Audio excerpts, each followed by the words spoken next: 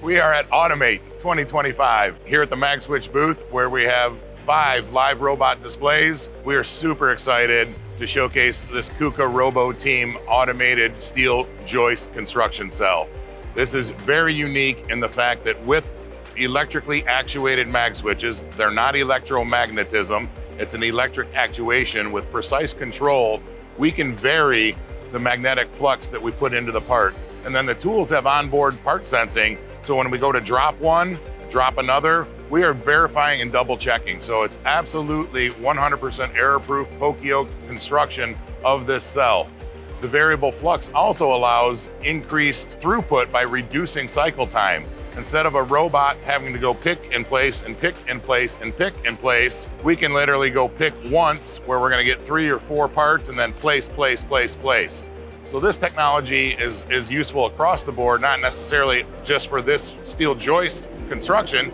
We can use it in automotive, we can use it in foundry, we can use it anywhere you want to improve your cycle time.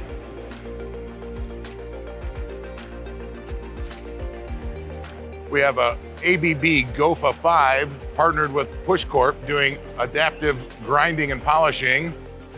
We have a Yaskawa random chaotic bin picking utilizing a Keyence vision system with a MagSwitch E30 tool. We're able to pick and identify which side of the object we've picked on and then place it accordingly into the fixture.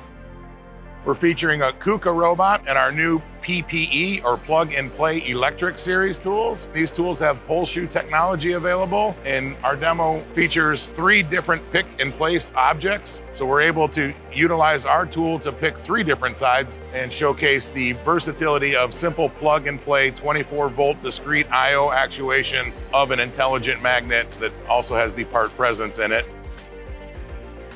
We're featuring a Universal Robot UR10 on our Cobot MagBase 10, which now features modular wings so you can expand your magnetic base capabilities for your cobots. The demo utilizes pneumatically actuated MagSwitch tools, picking and placing objects, and we also feature our new M30 2.0 that represents the fixture. So while the majority of MagSwitches are often seen on end effectors, MagSwitch is an absolute valuable tool inside your fixture. You can reduce operator walk times because you don't have moving clamp arms. You can grasp items that may not be reachable with clamps. So think MagSwitch on robot tools, think MagSwitch on fixtures, and again, our UR10 demo does that here at Automate.